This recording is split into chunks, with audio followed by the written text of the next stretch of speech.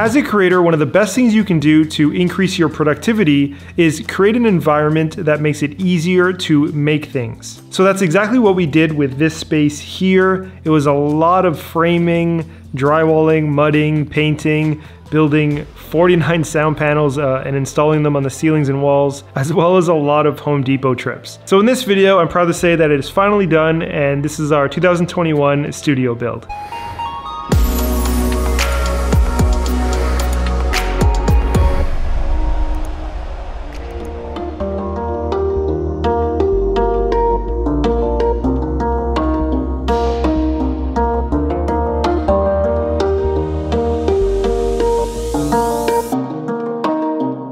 This space used to actually be a painter's workshop, so as you can imagine, there was paint everywhere, and not only that though, it was an oil paint, so the paint would seep into everything. I'm talking about all over the drywall, but also it seeped into the uh, concrete floors as well. There was also a lot of mold on the ceilings and walls, which of course is a concern. There was damaged drywall, lots of cracks everywhere, cracks in the concrete. The concrete was really dusty, and there was a lot of old uh, cabinets along the back wall that we had to demo and then get rid of. It took us about a year working an hour or two every couple days to get it to look like this, and it is completely different from what it used to look like. So getting the space to look like this was not easy, that's for sure, but it was so worth it because this space allows for so much. And it's already been a huge help because knowing that the space is here, it's set up and you know it's ready to go, I feel good about entering the space because I don't need to set anything up. It's just ready to go. And of course that creates a motivation to create more things. I honestly can't express enough how important it is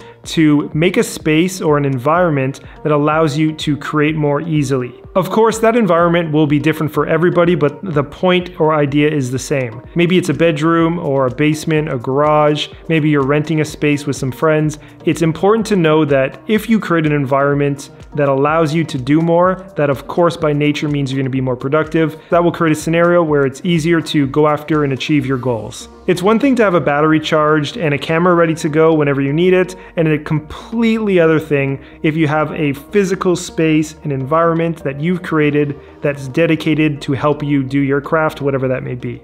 So I do encourage you to start thinking about maybe there is a space you have access to, maybe it's an outdoor location that just doesn't have people around for distractions and that would work. So I would suggest creating a list of the different things you may want in a space and then go from there. I've been shooting videos for a while and I can definitely get in the mindset where I just don't feel like creating anything. I either don't have any ideas or maybe I don't have time. Maybe it's I just don't feel like setting up a new setup. Either way, I'm in my own head and that's gonna stop me from creating more content. Having this space has changed that for me. For example, using the green screen space in the back, I can make more of those fun and weird compositing videos that I made.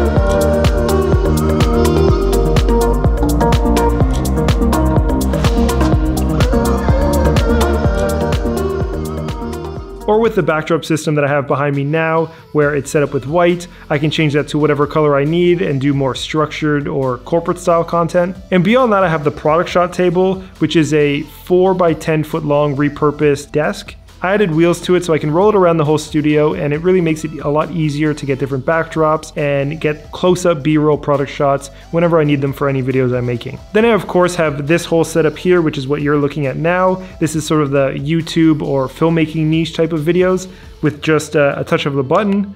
I can turn it off or on and I have the, all the lights set up, even the overhead.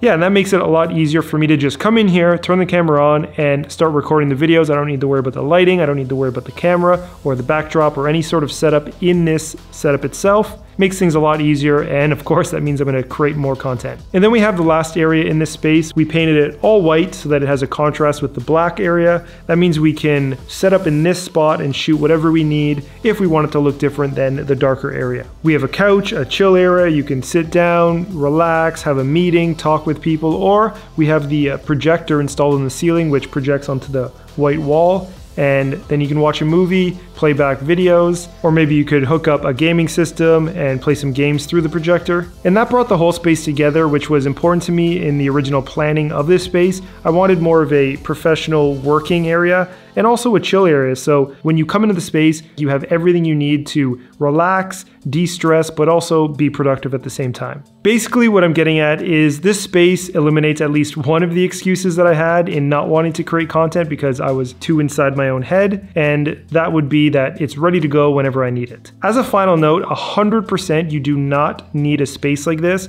This is definitely overkill, and if you're just starting out as a YouTuber or a filmmaker or a creative in general, having a space is great, it will help you, but again, it's just like a camera, it's a tool that will help you be more productive. So take it from me, I've been a content creator for like 15 years. I've owned several businesses for like seven plus years. You do not need a place like this right when you're starting out. And I want to remind you that yes, this does seem like quite a big space just for YouTube. It's a pretty big dedicated space, but we also run a production company. So the idea behind this studio serves a lot of purposes for us. You may have noticed the floors it's the first thing people comment on when they come into the space. They're very, very shiny and they work well for the look of a production space. Of course, they weren't like that initially. It used to be covered in just oil paint and bare concrete, which was very dusty. So one of the things we wanted to do was seal out the dust so that the air was nice to breathe in here. It wasn't as cold. We wanted to have the look sort of feel more like a modern studio space. So we did spend quite a bit of money on the floors.